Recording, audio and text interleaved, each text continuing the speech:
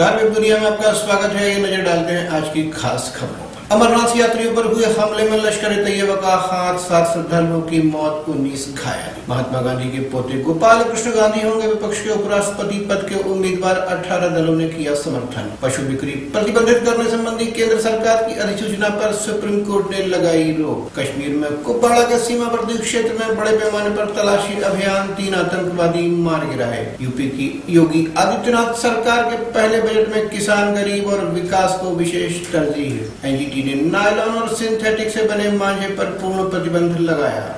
RBI के पूर्व governor सी रंगराजन ने कहा, बैंकों का विलय जबरन नहीं किया जाना चाहिए। एयर एशिया की दिल्ली रांची उड़ान का आपात दरवाज़ा खोलने का प्रयास रोकने की कोशिश में यात्री और चालक दल के सदस्य घायल। आतंकवादी संगठन इस्लामिक स्टेट को मदद पहुँचाने के मामले में अमेरिकी सैनिक गिरफ़्तार। कनाडा में ब्रिटिश कोलंबिया इलाके में जंगल की आग से हज़ारों लोग बेघर हुए। मिसिसिपी में अमेरिकी सैन्य विमान दुर्घटनाग्रस्त सोलह सैनिकों की मौत।